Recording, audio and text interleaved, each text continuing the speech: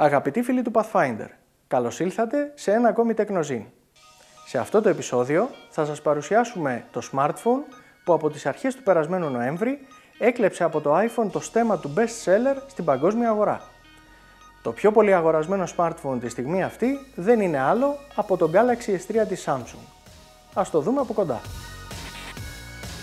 Σε προηγούμενο επεισόδιο του Technozine σας παρουσιάσαμε το αρκετά μεγαλύτερο μέλος της οικογένειας Galaxy, το Note 2.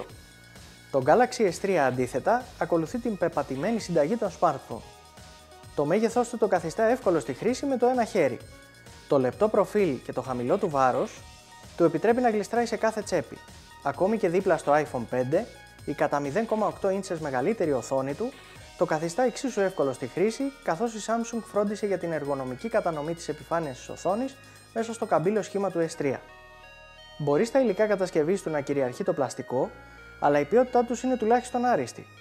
Η αφαιρούμενη πλάτη του S3 ακουμπώνει άψογα στο πίσω μέρος του τηλεφώνου, χωρίς τριγμούς ή άλλα προβλήματα εφαρμογής.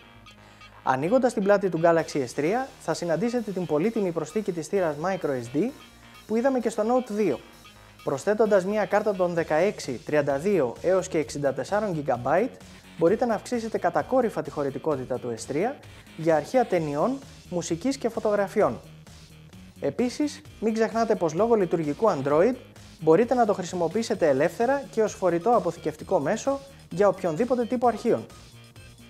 Η κάμερα των 8 MP του Galaxy S3 μας άφησε εξαιρετικές εντυπώσεις τραβάει άψογες φωτογραφίες, ενώ ευχάριστη είναι και η παρουσία ενός πλήρους μενού ρυθμίσεων, από το οποίο μπορείτε να καθορίσετε τον τύπο του θέματος για καλύτερα αποτελέσματα ή να μεταβάλλετε πιο ειδικές παραμέτρους όπως η ευαισθησία ISO και η φωτομέτρηση. Η λειτουργία πανοραμικών λήψεων είναι ενσωματωμένη εξ αρχής και λειτουργεί πολύ καλά, ειδικά σε μεγάλα τοπία χωρίς πολύπλοκες λεπτομέρειες. Ενδιαφέρον παρουσιάζουν και οι συντομεύσεις με τη χρήση κίνησης. Για παράδειγμα, ακουμπώντας την οθόνη και περιστρέφοντας το S3 αριστερά, ενεργοποιείται η κάμερα. Χάρη στις ευκολίες που προσφέρει η τεχνολογία NFC, ο διαμοιρασμός αρχείων μεταξύ συσκευών με το ίδιο χαρακτηριστικό γίνεται παιχνιδάκι. Αρκεί απλά να τις ακουμπήσετε πλάτη με πλάτη.